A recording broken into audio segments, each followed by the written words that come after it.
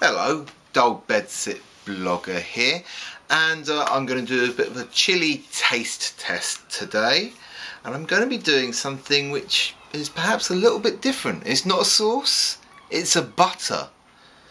Uh, this is from Burning Desire Foods. You can go to their website and have a look there. And this is Chipotle Chili Butter.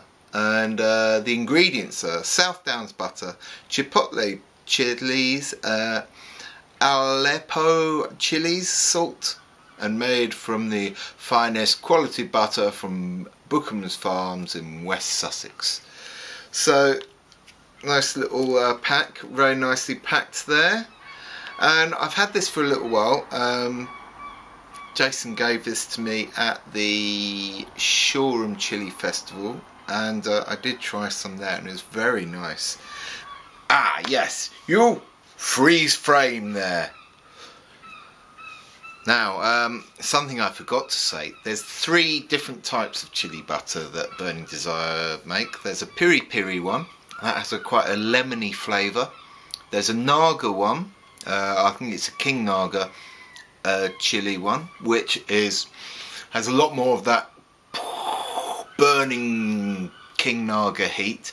And uh, and there's the Chipotle one, which I can show. You can start again now, okay? Lovely, bye! In fact, one of my earliest memories is from uh, eating butter. I remember hanging out with our cat called Leo and practically eating half a pack of butter that was on the table, just sticking my finger in and and then giving the cat bit, and then I'd have a bit. Um, I can't. I can't.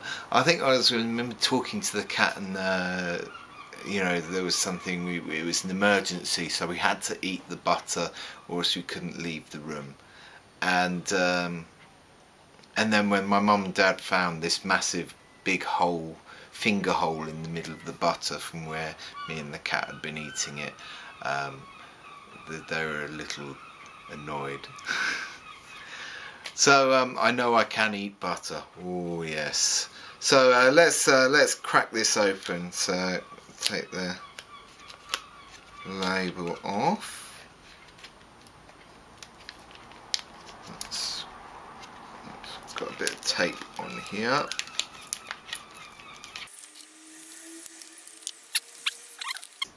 Is what the pack of butter looks like. You can see lots of bits of uh, um, you can see lots of bits of chipotle chili in there.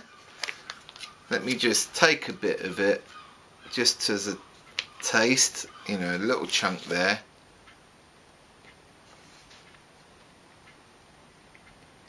Mmm. So the first thing you get is a lovely smokiness of the chipotle chi chili. Good amount of heat, not not nothing too alarming, but it's a good nice under the tongue heat, just about there, and in general mouth. Really good flavour. You can still taste the butteriness. Looking really good. Something that I'd recommend this if you're a fan of the film Nine and a Half Weeks, Who is that clueless idiot?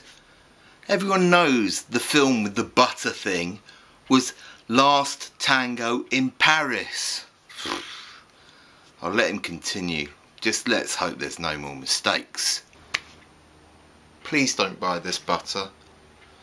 But if you like a bit of chili, buy this butter. It's very, very tasty. And what would you use it for? Well, how about on toast your chili head breakfast? Let's put a little bit more on. Oh, it is the weekend, so we can go a bit crazier with the butter. Mmm.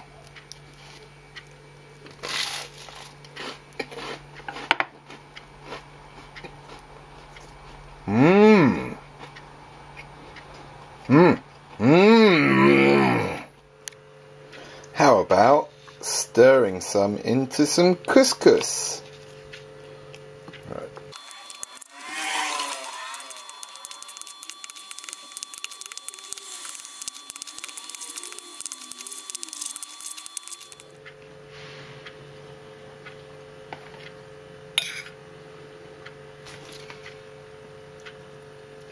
Nom nom nom nom. Mm mm.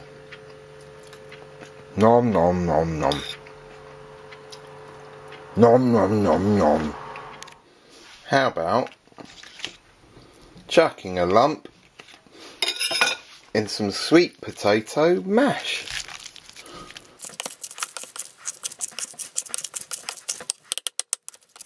Oh, look at that. That looks pretty good. Mmm. The sweet potato works so well. Really brings out the chop chipotle smokiness. And oh, that is that is being particularly good. I think that's the best thing I've done with it so far. So there's a few things that you can do with some uh, Burning Desires chili butter.